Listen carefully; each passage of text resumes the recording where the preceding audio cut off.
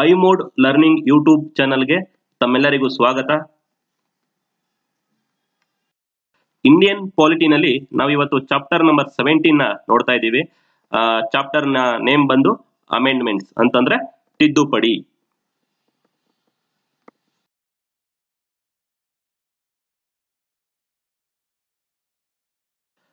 Amendments of constitution. Amendments ಅಂತಂದ್ರೆ ಏನು? Amendment ಅಂತಂದ್ರೆ ತಿದ್ದುಪಡಿ ಅಂತ ಅರ್ಥ. ಸೊ ನಮ್ಮ ಸಂವಿಧಾನಕ್ಕೆ ಈ ತಿದ್ದುಪಡಿ ಅನ್ನೋ ಒಂದು ಕಾನ್ಸೆಪ್ಟ್ ಅವಶ್ಯಕತೆ ಇದೆಯಾ? ಅವಶ್ಯಕತೆ ಇದ್ರೆ ಏಕೆ ಅವಶ್ಯಕತೆ ಇದೆ ಅಂತ ನಾವು ನೋಡೋದಾದ್ರೆ, ನೋಡಿ ಯಾವುದೇ ಕ್ಷೇತ್ರದಲ್ಲಾದ್ರೂ ಆಯಾ ಕಾಲಘಟ್ಟಕ್ಕೆ ಅನುಸಾರವಾಗಿ ಬದಲಾವಣೆ ಮಾಡ್ತಾ ಇರಬೇಕು.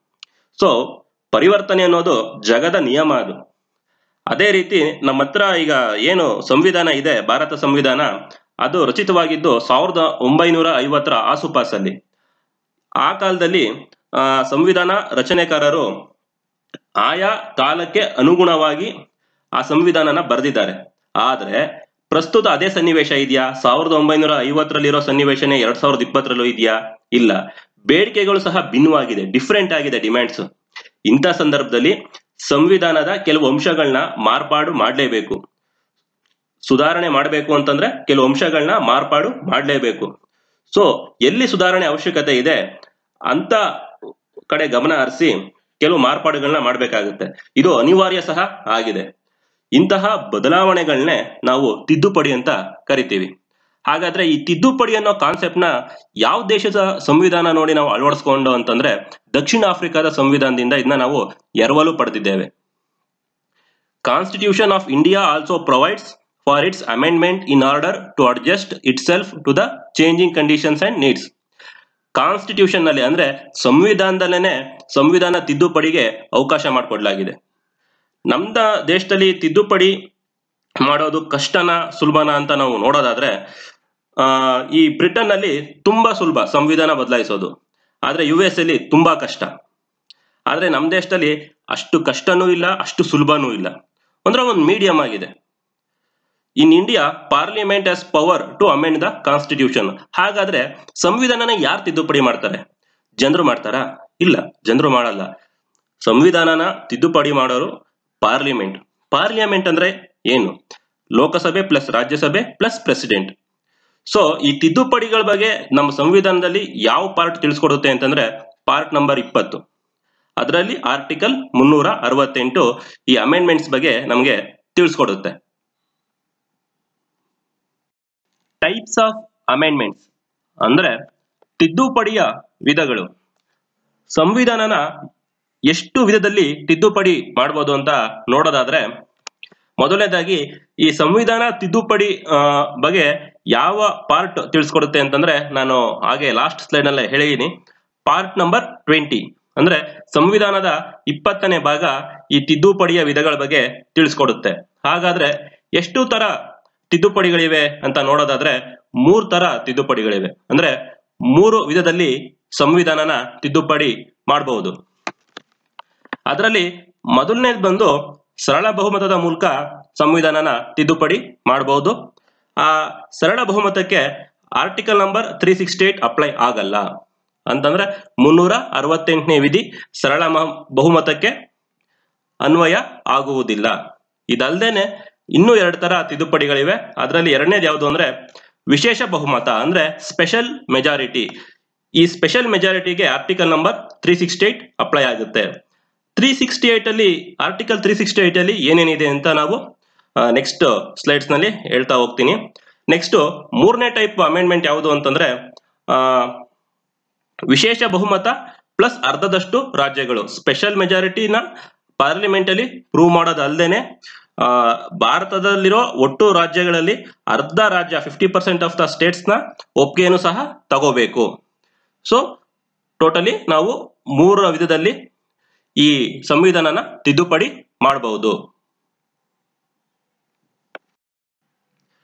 therefore constitution can be amended in three ways ಮೊದಲನೇದು ಬಂದು by simple majority of the parliament ಅಂದ್ರೆ ಸರಳ ಬಹುಮತದ ಮೂಲಕ by special majority of the parliament ಅಂದ್ರೆ ವಿಶೇಷ ಬಹುಮತದ ಮೂಲಕ. Next amendment by special majority of the parliament and the ratification of of of the states legislature ಅಂದ್ರೆ ವಿಶೇಷ ಬಹುಮತ ಪ್ಲಸ್ ಅರ್ಧದಷ್ಟು ರಾಜ್ಯಗಳ ಒಪ್ಪಿಗೆ. So by simple majority of parliament ಸರಳ ಬಹುಮತದ ಬಗ್ಗೆ ನೋಡೋದಾದ್ರೆ ಸಂವಿಧಾನದ ಕೆಲವು ವಿಧಿಗಳನ್ನ ಸಂಸತ್ನಲ್ಲಿ ಸರಳ ಬಹುಮತದಿಂದ ತಿದ್ದುಪಡಿ ಮಾಡಬಹುದು. ಎಲ್ಲಾ ವಿಧಿಗಳನ್ನೂ ಅಲ್ಲ, ಕೆಲವು ವಿಧಿಗಳನ್ನ ಸಂಸತ್ತಿನ ಸರಳ ಬಹುಮತದಿಂದ ತಿದ್ದುಪಡಿ ಮಾಡಬಹುದು. ಕೆಲವು ಅಂತಂದ್ರೆ, ಆ ಆಲ್ಮೋಸ್ಟ್ ಮೆಜಾರಿಟಿ ಅಂತಂದ್ರೆ ಒಂದು seventy five percent eighty five percent ಆರ್ಟಿಕಲ್ಸ್ನ ನಾವು ಸಿಂಪಲ್ ಮೆಜಾರಿಟಿ ಮುಖಾಂತರನೇ ತಿದ್ದುಪಡಿ ಮಾಡಬಹುದು. ಸೊ ಇಂತಹ ತಿದ್ದುಪಡಿಗಳು ಸಂಸತ್ತಿನ ಉಭಯ ಸದನಗಳಲ್ಲಿ ಪ್ರತ್ಯೇಕವಾಗಿ ಸರಳ ಬಹುಮತ ಪಡೆದು ತಿದ್ದುಪಡಿ ಮಾಡಬಹುದು. ಅಂದ್ರೆ ಈಗ ಈ ಸಿಂಪಲ್ ಮೆಜಾರಿಟಿನಲ್ಲಿ ತಿದ್ದುಪಡಿ ಮಾಡಬೇಕಾದ್ರೆ ಲೋಕಸಭೆನಲ್ಲೂ ಅಲ್ಲಿ ಪ್ರೆಸೆಂಟ್ ಇರುವಂತಹ ಮೆಂಬರ್ಸ್ ಅಲ್ಲಿ ಅರ್ಧಕ್ಕಿಂತ ಹೆಚ್ಚು ಅಂತಂದ್ರೆ fifty percent plus one present ಇರುವಂತಹ ಮೆಂಬರ್ಸ್ ಅಲ್ಲಿ. ಈಗ ಐನೂರ ನಲವತ್ತೈದು ಮೆಂಬರ್ಸ್ ಅಂತಂದ್ರೆ ಯಾವಾಗ್ಲೂ ಐನೂರ ನಲವತ್ತೈದು ಮೆಂಬರ್ಸ್ ಅಲ್ಲಿ ಪ್ರೆಸೆಂಟ್ ಆಗಿರಲ್ಲ. ಸೊ ಪ್ರೆಸೆಂಟ್ ಇರೋದ್ರಲ್ಲಿ ಅಂತಂದ್ರೆ ಒಂದ್ ನಾನೂರ ಆದ್ರೂ ಆಗಿರ್ಬೋದು ಅಥವಾ ಒಂದು ಮುನ್ನೂರ ಐವತ್ತಾದ್ರೂ ಆಗಿರ್ಬೋದು. ಈಗ ಒಂದು ನಾನೂರು ಜನ ಪ್ರೆಸೆಂಟ್ ಆಗಿರ್ತಾರೆ ಲೋಕಸಭೆಯಲ್ಲಿ ಅಂತಂದ್ರೆ ಟೂ ಹಂಡ್ರೆಡ್ ಪ್ಲಸ್ ಒನ್ ಸರಳ ಬಹುಮತಕ್ಕೆ ಬೇಕಾಗಿರೋದು. ಅಷ್ಟು ಅಷ್ಟು ಮೆಂಬರ್ಸ್ನ ವೋಟ್ ಮಾಡಿದ್ರೆ ಅದು ಪಾಸ್ ಆಗುತ್ತೆ. ಸೊ ಹಾಗಾದ್ರೆ ಫಿಫ್ಟಿ ಮೆಂಬರ್ಸ್ ಇದ್ರೆ twenty five plus one no ಆಗ ಬರಲ್ಲ ಅಲ್ಲಿ. ಸೊ ಮಿನಿಮಮ್ ಇಷ್ಟು ಮೆಂಬರ್ಸ್ ಪ್ರೆಸೆಂಟ್ ಇರಬೇಕು ಅಂತ ಸಹ ಅಲ್ಲಿ ಬರುತ್ತೆ. ಅಂತ ಒಂದು ಮಿನಿಮಮ್ ನಂಬರ್ಸ್ಗೆ ಕೋರಮ್ ಅಂತ ಕರಿತೀವಿ. ಕೋರಮ್ ಅಂತಂದ್ರೆ minimum number of members to continue session ಎಷ್ಟಿರಬೇಕು ಅಂತಂದ್ರೆ ಒನ್ ಬೈ ಟೆಂತ್ ಹತ್ತನೆಯ ಒಂದು ಭಾಗ ಇರಬೇಕು. ಅಂದ್ರೆ ಐನೂರ ನಲವತ್ತ ಐದರಲ್ಲಿ ಡಿವೈಡ್ ಬೈ ಟೆನ್ ಮಾಡಿದ್ರೆ ಎಷ್ಟಾಗುತ್ತೆ ಅಂತಂದ್ರೆ ಅರೌಂಡ್ ಫಿಫ್ಟಿ ಫೈವ್ ಮೆಂಬರ್ಸ್ ಬೇಕು. ಈ ಸಿಂಪಲ್ ಮೆಜಾರಿಟಿ ಪ್ರೋಸೆಸ್ನ ನಡೆಸೋದಿಕ್ಕೆ. ಹಾಗಾದ್ರೆ ಯಾವೆಲ್ಲ ವಿಧಿಗಳನ್ನ ತಿದ್ದುಪಡಿ ಮಾಡಬಹುದು. ಯಾವೆಲ್ಲ ವಿಷಯಗಳನ್ನ ತಿದ್ದುಪಡಿ ಮಾಡಬಹುದು ಸಂವಿಧಾನದಲ್ಲಿ ಅಂತ ನೋಡೋಣ. ಈ ಸರಳ ಬಹುಮತದಿಂದ ತಿದ್ದುಪಡಿ ಮಾಡಬಹುದಾದ ವಿಷಯಗಳು ಯಾವ್ದ್ಯಾವ್ದಪ್ಪ ಅಂತಂದ್ರೆ admission or establishment of new states ಅಂದ್ರೆ ಹೊಸ ರಾಜ್ಯಗಳ ಸೇರ್ಪಡೆ ಅಥವಾ ಸ್ಥಾಪನೆ. ಅಂದ್ರೆ ಭಾರತೀಯ ಒಕ್ಕೂಟಕ್ಕೆ ಹೊಸ ರಾಜ್ಯಗಳ ಸೇರ್ಪಡೆ ಹಾಗೂ ಸ್ಥಾಪನೆ, ಸೇರ್ಪಡೆ ಅಥವಾ ಸ್ಥಾಪನೆ. ಎರಡನೇದು ಬಂದು formation of new states and alteration of areas boundaries or names of existing states ಅಂದ್ರೆ ರಾಜ್ಯಗಳ ಗಡಿ ಬದಲಾವಣೆ ವಿಸ್ತೀರ್ಣ ಹೆಸರನ್ನು ಬದಲಾಯಿಸುವುದು. ಅಂದ್ರೆ ವಿಸ್ತೀರ್ಣ ಏರಿಯಾನ ಆಲ್ಟರೇಷನ್ ಮಾಡೋದು. ಅಂತಂದ್ರೆ ಆ, ಮಾರ್ಪಾಡು ಮಾಡೋದು. ವಿಸ್ತೀರ್ಣ ವಿಸ್ತೀರ್ಣದಲ್ಲಿ ಮಾರ್ಪಾಡನ್ನ ಮಾಡಬಹುದು ಮತ್ತೆ ಹೆಸರು ಬದಲಾಯಿಸೋದು. ಮತ್ತೆ ಬೌಂಡರೀಸ್ ಅಂತಂದ್ರೆ ಗಡಿ ಬದಲಾಯಿಸೋದು. ನೆಕ್ಸ್ಟ್ ಇನ್ನೊಂದು ಯಾವ್ದಪ್ಪ ವಿಷಯ ಅಂತಂದ್ರೆ abolition or creation of legislative councils in states ವಿಧಾನ ಪರಿಷತ್ತನ್ನು ಸ್ಥಾಪಿಸುವ ಅಥವಾ ವಜಾಗೊಳಿಸುವ. ಅಂದ್ರೆ ಈಗ ಇಂಡಿಯಾದಲ್ಲಿ ಇರೋ ಸ್ಟೇಟ್ಸ್ ಅಲ್ಲಿ ಎಲ್ಲಾ ಸ್ಟೇಟ್ಗಳಲ್ಲೂ ಈ ಲೆಜಿಸ್ಲೇಟಿವ್ ಕೌನ್ಸಿಲ್ ಅಂದ್ರೆ ವಿಧಾನ ಪರಿಷತ್ ಇಲ್ಲ. ಆರರಿಂದ ಏಳು ರಾಜ್ಯಗಳಲ್ಲಿ ಮಾತ್ರ ಈ ಒಂದು ವಿಧಾನ ಪರಿಷತ್ತು ಅಸ್ತಿತ್ವದಲ್ಲಿದೆ. ಸೊ ಈಗ ಬೇರೆ ರಾಜ್ಯಕ್ಕೂ ವಿಧಾನ ಪರಿಷತ್ನ ಕೊಡಬೇಕು. ಅಥವಾ ಸ್ಥಾಪಿಸಬೇಕು ಅಂತ ಏನಾದರೂ ಒಂದು ವಿಷಯ ಬಂದ್ರೆ ಅದು ಪಾರ್ಲಿಮೆಂಟ್ ಅಲ್ಲಿ ಡಿಸ್ಕಸ್ ಆಗಬೇಕು. ಸೊ ಅಲ್ಲಿ ಸಿಂಪಲ್ ಮೆಜಾರಿಟಿಲಿ ಅಪ್ರೂವ್ ಮಾಡಬೇಕು. ಹಾಗಾಗಿ, ಈ ವಿಧಾನ ಪರಿಷತ್ತನ್ನು ಸ್ಥಾಪಿಸುವ ಅಥವಾ ವಜಾಗೊಳಿಸುವ ಇದನ್ನು, ಹಕ್ಕನ್ನು ಈ ಪಾರ್ಲಿಮೆಂಟ್ ಹೊಂದಿದೆ. ಅದು ಸಿಂಪಲ್ ಮೆಜಾರಿಟಿ ಮುಖಾಂತರ. ಮತ್ತೊಂದಷ್ಟು ವಿಷಯಗಳು ನೋಡೋದಾದ್ರೆ ಯಾವ್ದಾವ್ದು ಸರಳ ಬಹುಮತದಿಂದ ತಿದ್ದುಪಡಿ ಮಾಡಬಹುದಾದಂತಹ ಅಂತಂದ್ರೆ ಸೆಕೆಂಡ್ ಶೆಡ್ಯೂಲ್ ಅಂದ್ರೆ ಎರಡನೇ ಅನುಸೂಚಿಗೆ ಸಂಬಂಧಿಸಿದ ವಿಷಯಗಳು. ಯಾವ್ದ್ಯಾವುದು? ರಾಷ್ಟ್ರಾಧ್ಯಕ್ಷರ, ರಾಜ್ಯಪಾಲರ, ಸಭಾಧ್ಯಕ್ಷರ ಹಾಗೂ ನ್ಯಾಯಾಧೀಶರ ವೇತನ ಭತ್ಯೆ ಮತ್ತು ಸೌಲಭ್ಯಗಳು ಕೋರಂ ಆಫ್ ದ ಪಾರ್ಲಿಮೆಂಟ್ ಅಂತಂದ್ರೆ ಕನಿಷ್ಠ ಹಾಜರಿರಬೇಕಾದ ಶಾಸನ ಸಭೆಯ ಸಂಖ್ಯೆ salaries and allowances of MPs ಅಂದ್ರೆ ಸಂಸತ್ ಸದಸ್ಯರ ವೇತನ, ಭತ್ಯೆ ಮತ್ತು ಸೌಲಭ್ಯಗಳು. Next rules of procedure in parliament and privileges of parliament ಅಂತಂದ್ರೆ ಸಂಸತ್ತಿನ ಕಾರ್ಯಕಲಾಪಗಳ ಬಗ್ಗೆ ತಿದ್ದುಪಡಿ ಮಾಡಬೇಕಾದ್ರೆ ಈ ಸರಳ ಬಹುಮತದಿಂದನೇ ಮಾಡ್ತಾರೆ. ಮತ್ತೆ use of English language in parliament ಅಂತಂದ್ರೆ ಅಧಿಕೃತ ಭಾಷೆ ಬಳಸೋ ಬಗ್ಗೆ ಸಹ ಈ ಒಂದು ಸಿಂಪಲ್ ಮೆಜಾರಿಟಿ ಮುಖ, ಮೂಲಕನೇ ಡಿಸೈಡ್ ಆಗುತ್ತೆ. ಮತ್ತೆ number of judges in supreme court supreme ಕೋರ್ಟ್ನಲ್ಲಿ ನ್ಯಾಯಾಧೀಶರು ಸಂಖ್ಯೆನ ಏರಿಕೆ ಮಾಡಬೇಕು ಅಂತಂದ್ರೆ, ಅದು ಸಹ ಸಿಂಪಲ್ ಮೆಜಾರಿಟಿ ಮೂಲಕನೇ ತಿದ್ದುಪಡಿ ಮಾಡಿ ರೈಸ್ ಮಾಡಬಹುದು ಸಿಟಿಸನ್ಶಿಪ್ ಪೌರತ್ವದ ಬಗ್ಗೆ, ಮತ್ತೆ elections to parliament and state legislature ಅಂತಂದ್ರೆ ಈ ಚುನಾವಣೆಗಳ ಬಗ್ಗೆ, ಅಂದ್ರೆ ಚುನಾವಣೆ ಕ್ಷೇತ್ರಗಳ ಪುನರ್ ವಿಂಗಡಣೆ ಮಾಡೋದ್ರ ಬಗ್ಗೆ ಆಗಿರ್ಬೋದು, ಅಂದ್ರೆ ಡಿಲಿಮಿಟೇಷನ್ ಆಫ್ ಕಾನ್ಸ್ಟಿಟ್ಯೂಯೆನ್ಸಿಸ್ ಅಂತಂದ್ರೆ ಚುನಾವಣಾ ಕ್ಷೇತ್ರಗಳ ಪುನರ್ ವಿಂಗಡಣೆ ಯೂನಿಯನ್ ಟೆರಿಟರೀಸ್ ಅಂತಂದ್ರೆ ಕೇಂದ್ರ ಆಡಳಿತ ಪ್ರದೇಶಗಳ ಮೇಲೆ ಏನಾದರೂ ಕಾನೂನು ಮಾಡೋದನ್ನು ಸಹ ಈ ಸಿಂಪಲ್ ಮೆಜಾರಿಟಿ ಮುಖಾಂತರ ಮಾಡಬಹುದು ಮತ್ತೆ ಫಿಫ್ತ್ ಅಂಡ್ ಸಿಕ್ಸ್ತ್ ಶೆಡ್ಯೂಲ್ಸ್ ಅಂದ್ರೆ ಐದು ಮತ್ತು ಆರನೇ ಅನುಸೂಚಿಗಳ ಬಗ್ಗೆ ಏನಾದರೂ ತಿದ್ದುಪಡಿ ಮಾಡಬೇಕು ಅಂತಂದ್ರೂ ಸರಳ ಬಹುಮತದ ಮೂಲಕನೇ ಮಾಡಬಹುದು. So second type of amendment ನೋಡೋದಾದ್ರೆ by special majority of parliament ಅಂದ್ರೆ ವಿಶೇಷ ಬಹುಮತದ ಮೂಲಕ ತಿದ್ದುಪಡಿ. ಸಂವಿಧಾನದ ಕೆಲವು ಭಾಗಗಳನ್ನ ಸಂವಿ ಸಂಸತ್ತಿನ ವಿಶೇಷ ಬಹುಮತದ ಮೂಲಕ ತಿದ್ದುಪಡಿ ಮಾಡಬೇಕಾಗುತ್ತೆ. ಸೊ ಇದಕ್ಕೆ ಒಂದು ಎರಡು ಕಂಡೀಷನ್ಸ್ ಇದೆ. By special majority of parliament ಈ ಟೈಪ್ ಅಲ್ಲಿ ಎರಡು ಕಂಡೀಷನ್ಸ್ ಇದೆ.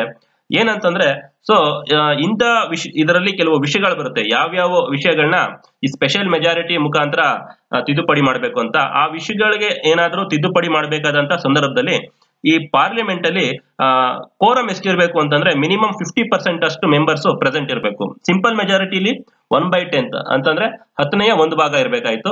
ಆದ್ರೆ ಇದರಲ್ಲಿ ಈ ಐನೂರ ನಲವತ್ತೈದು ಜನದಲ್ಲಿ ಅರ್ಧದಷ್ಟು ಜನ ಅಂತಂದ್ರೆ five forty five by two ಅಂತಂದ್ರೆ ನಿಯರ್ಲಿ ಟೂ ಏಯ್ಟಿ ಅಷ್ಟು ಮೆಂಬರ್ಸ್ ಪ್ರೆಸೆಂಟ್ ಇರಬೇಕಾಗುತ್ತೆ. ಸೊ ಅಷ್ಟು, ಎಷ್ಟು ಪ್ರೆಸೆಂಟ್ ಇರ್ತಾರೋ ಅಷ್ಟರಲ್ಲಿ, ಅಂದ್ರೆ ಫಿಫ್ಟಿ ಪರ್ಸೆಂಟ್ ಗಿಂತ ಜಾಸ್ತಿ ಪ್ರೆಸೆಂಟ್ ಇರಬೇಕು. ಸೊ ಎಷ್ಟು ಪ್ರೆಸೆಂಟ್ ಇರ್ತಾರೆ ನೋಡ್ಕೋಬೇಕು. ಅದರಲ್ಲಿ ಟೂ ಥರ್ಡ್ ಅಂತಂದ್ರೆ sixty six point six six percentage ಅಷ್ಟು ಜನ ಅಂದ್ರೆ ಮೆಂಬರ್ಸ್ಗಳು ಈ ಒಂದು ವಿಷಯಕ್ಕೆ ಒಪ್ಪಿಗೆ ಕೊಡಬೇಕು. ಸೊ ಅಂದ್ರೆ ಯಾವ್ಯಾವ ವಿಷಯಗಳಿಗೆ ಸಂಬಂಧಿಸಿದಂತೆ ಈ ವಿಶೇಷ ಬಹುಮತದ ಮೂಲಕ ತಿದ್ದುಪಡಿ ಮಾಡೋ ಅವಶ್ಯಕತೆ ಇದೆ ಅಂತಂದ್ರೆ ಮೊದಲನೇದಾಗಿ ಬಂದು ಮೂಲಭೂತ ಹಕ್ಕುಗಳು ಫಂಡಮೆಂಟಲ್ ರೈಟ್ಸ್ನ ಈ ಸ್ಪೆಷಲ್ ಮೆಜಾರಿಟಿ ಮುಖಾಂತರನೇ ತಿದ್ದುಪಡಿ ಮಾಡಬೇಕು. ಸೆಕೆಂಡ್ ಬಂದು ರಾಜ್ಯ ನಿರ್ದೇಶಕ ತತ್ವಗಳು ಅಂತಂದ್ರೆ directive principles of state policy ಮೂರನೇದು ಬಂದು all the other provisions which are not covered by one and third categories ಅಂದ್ರೆ ಸಿಂಪಲ್ ಮೆಜಾರಿ ಮೆಜಾರಿಟಿಲಿ ಬರೋ ವಿಷಯಗಳನ್ನ ಬಿಟ್ಟು ಮತ್ತೆ special majority plus of of the states ಅದನ್ನ ಬಿಟ್ಟು ಈ ಮೊದಲನೇ ಹಾಗೂ ಮೂರನೇ ಕ್ಯಾಟಗರಿಲಿ ಯಾವ್ಯಾವ ಬರಲ್ಲ ಅವೆಲ್ಲ ಈ ಸೆಕೆಂಡ್ ಟೈಪ್ ಅಲ್ಲಿ ಬರುತ್ತೆ. ಯಾವುದು second type by special majority of parliament so third type of amendment ಅಂದ್ರೆ ಮೂರನೇ ವಿಧದ ತಿದ್ದುಪಡಿ ಯಾವುದು ಅಂತ ನೋಡೋದಾದ್ರೆ by special majority plus approval from more than half states ಅಂದ್ರೆ ವಿಶೇಷ ಬಹುಮತ ಹಾಗೂ ಅರ್ಧದಷ್ಟು ರಾಜ್ಯಗಳ ಸಮ್ಮತಿಯ ಮೇರೆಗೆ ತಿದ್ದುಪಡಿ. ಅಂದ್ರೆ ಸಂಸತ್ತಿನ ವಿಶೇಷ ಬಹುಮತದೊಂದಿಗೆ ವಿಶೇಷ ಬಹುಮತದೊಂದಿಗೆ ಪ್ಲಸ್ ಅಂದ್ರೆ ಅರ್ಧದಷ್ಟು ರಾಜ್ಯ ಶಾಸಕಾಂಗಗಳ ಅಂದ್ರೆ ಸ್ಟೇಟ್ ಲೆಜಿಸ್ಲೇಟಿವ್ ಅಸೆಂಬ್ಲಿಯ ಪರ್ಮಿಷನ್. ಅರ್ಧದಷ್ಟು ರಾಜ್ಯ ಶಾಸಕಾಂಗಗಳ ಸಮ್ಮತಿಯ ಮೇರೆಗೆ ಸಂವಿಧಾನದ ಕೆಲವು ಭಾಗಗಳನ್ನು ತಿದ್ದುಪಡಿ ಮಾಡಬಹುದು. ಭಾರತದ ಸಂಯುಕ್ತ ವ್ಯವಸ್ಥೆಗೆ ಸಂಬಂಧಿಸಿದ ವಿಷಯಗಳನ್ನು ತಿದ್ದುಪಡಿ ಮಾಡಲು ಈ ನಿಯಮವನ್ನು ಅನುಸರಿಸಲಾಗುತ್ತದೆ. ಸೊ ಯಾವ್ಯಾವ ವಿಷಯಗಳನ್ನ ತಿದ್ದುಪಡಿ ಮಾಡಬಹುದು ಈ ಟೈಪ್ ಅಲ್ಲಿ ಅಂತಂದ್ರೆ, ಈ ರಾಷ್ಟ್ರಾಧ್ಯಕ್ಷರ ಚುನಾವಣಾ ವಿಧಾನ ಇದೆಯಲ್ಲ ಪ್ರೆಸಿಡೆಂಟ್ ಎಲೆಕ್ಷನ್ ಅದನ್ನ ಏನಾದ್ರೂ ಅದ್ರಲ್ಲಿ ಮಾರ್ಪಾಡು ಮಾಡಬೇಕು ಅಂತಂದ್ರೆ, ಈ ಥರ್ಡ್ ಟೈಪ್ನ ಮುಖಾಂತರನೇ ಮಾಡಬೇಕು. ಸೊ ಇದಲ್ಲದೆ ಕೇಂದ್ರ ಹಾಗೂ ರಾಜ್ಯ ಕಾರ್ಯಾಂಗ ಅಧಿಕಾರಿಗಳ ವ್ಯಾಪ್ತಿ ಅಂತಂದ್ರೆ ಈ ಸೆಂಟ್ರಲ್ ಮತ್ತೆ ಸ್ಟೇಟ್ನ ಏನು ಒಂದು ವ್ಯಾಪ್ತಿ ಇದೆ ಎಕ್ಸಿಕ್ಯೂಟಿವ್ ಅದ್ರ ಬಗ್ಗೆ ಏನಾದ್ರೂ ಮಾರ್ಪಾಡುಗಳು ಮಾಡಬೇಕು ಅಂತಂದ್ರೂ ಸಹ ಈ ಥರ್ಡ್ ಟೈಪ್ ಆಫ್ ಅಮೆಂಡ್ಮೆಂಟ್ ಮುಖಾಂತರನೇ ಮಾಡಬೇಕು. ಮತ್ತೊಂದಷ್ಟು ವಿಷಯಗಳು ಯಾವ್ಯಾವ ಸೇರ್ಕೋತವೆ ಅಂತ ನಾವು ನೋಡೋದಾದ್ರೆ ಈ ಸುಪ್ರೀಂ ಕೋರ್ಟ್ ಮತ್ತೆ ಹೈಕೋರ್ಟ್ಗಳ ಬಗ್ಗೆ, ಅಂದ್ರೆ ಸರ್ವೋಚ್ಚ ನ್ಯಾಯಾಲಯ ಹಾಗೂ ಉಚ್ಚ ನ್ಯಾಯಾಲಯಗಳ ರಚನೆ ಮತ್ತು ಅಧಿಕಾರಗಳ ಬಗ್ಗೆ ಏನಾದ್ರೂ ಮಾರ್ಪಾಡು ಮಾಡಬೇಕು ಅಂತಂದ್ರೆ ಈ ಅಮೆಂಡ್ಮೆಂಟ್ ಮುಖಾಂತರನೇ ಮಾಡಬೇಕು. ಮತ್ತೆ ಸಂಸತ್ನಲ್ಲಿ ರಾಜ್ಯಗಳ ಪ್ರಾತಿನಿಧ್ಯ ಅಂದ್ರೆ representation of states in parliament ಇದ್ರ ಬಗ್ಗೆ ತಿದ್ದುಪಡಿ ಮಾಡಬೇಕು ಅಂತಂದ್ರೂ ಈ ತರ ಟೈಪ್ ಆಫ್ ಅಮೆಂಡ್ಮೆಂಟ್ ಮುಖಾಂತರನೇ ಬರಬೇಕು. ನೆಕ್ಸ್ಟ್ ಸಂವಿಧಾನ ತಿದ್ದುಪಡಿ ವಿಧಾನ ಅಂದ್ರೆ power of parliament to amend the constitution and its procedure ಮತ್ತಿನ್ನೊಂದು ಯಾವುದು ಅಂತಂದ್ರೆ ಎನಿ ಆಫ್ ದ ಲಿಸ್ಟ್ ಇಂದ ಸೆವೆಂತ್ ಶೆಡ್ಯೂಲ್ ಅಂದ್ರೆ ಏಳನೇ ಅನುಸೂಚಿನಲ್ಲಿ ಬರಗ, ಬರತಕ್ಕಂತ ವಿಷಯಗಳ ಬಗ್ಗೆ ತಿದ್ದುಪಡಿ ಮಾಡಬೇಕು ಅಂತಂದ್ರೆ ಮತ್ತೆ distribution of legislative powers between union and states ಅಂದ್ರೆ ಕೇಂದ್ರ ಹಾಗೂ ರಾಜ್ಯಗಳ ನಡುವಣ ಅಧಿಕಾರ ವಿಭಜನೆ. ಈ ವಿಷಯಕ್ಕೆ ಸಂಬಂಧಪಟ್ಟಾಗೂ ಸಹ ಈ ಮೂರ್, ಮೂರನೇ ವಿಧದ ತಿದ್ದುಪಡಿ ಮುಖಾಂತರ ತಿದ್ದುಪಡಿನ ಮಾಡಬೇಕಾಗುತ್ತೆ. ಸೊ ಒಂದು ನೋಟ್ ಇದೆ. Amendments which are carried out through simple majority cannot be considered as constitutional amendments because method of simple majority was not mention in article three sixty eight ಅಂದ್ರೆ ಯಾವ್ದಾದ್ರು ಒಂದು ತಿದ್ದುಪಡಿ, ಸಾಂವಿಧಾನಿಕ ತಿದ್ದುಪಡಿ ಅಂತ ಕರ್ಸ್ಕೊಬೇಕಾದ್ರೆ ಸೊ ಅದಕ್ಕೆ article three sixty eight apply ಆಗೋದಿದ್ರೆ ಮಾತ್ರ ಅದು ಕಾನ್ಸ್ಟಿಟ್ಯೂಷನಲ್ ಅಮೆಂಡ್ಮೆಂಟ್ ಅಂದ್ರೆ ಸಾಂವಿಧಾನಿಕ ತಿದ್ದುಪಡಿ ಅಂತ ಕರಿಬಹುದು ಎಷ್ಟೋ ವಿಷಯಗಳಿಗೆ ಸರಳ ಬಹುಮತದೊಂದಿಗೂ ಸಹ ಸರಳ ಬಹುಮತದಿಂದನೂ ನಾವು ತಿದ್ದುಪಡಿ ಮಾಡಬಹುದು ಅಂತ ಸರಳ ಬಹುಮತದಿಂದ ತಿದ್ದುಪಡಿ ಮಾಡ್ಲಾಗಿರೋಗಳನ್ನ ನಾವು ಸಾಂವಿಧಾನಿಕ ತಿದ್ದುಪಡಿ ಅಂತ ಕರೆಯಕ್ಕೆ ಆಗಲ್ಲ. So article three sixty eight apply ಆಗುವಂತವು ಮಾತ್ರ constitutional amendments simple majority is out of article three sixty eight so ಇವತ್ತಿನ ಕ್ಲಾಸ್ ಇಷ್ಟೇ? ಮುಗ್ದಿದೆ? ನೆಕ್ಸ್ಟ್ ಟಾಪಿಕ್ ಯಾವುದು ಅಂತಂದ್ರೆ ಲೆಜಿಸ್ಲೇಟಿವ್ ಪ್ರೋಸೆಸ್ ನಾವಿದನ್ನ ನಾಳೆ ನೋಡೋಣ.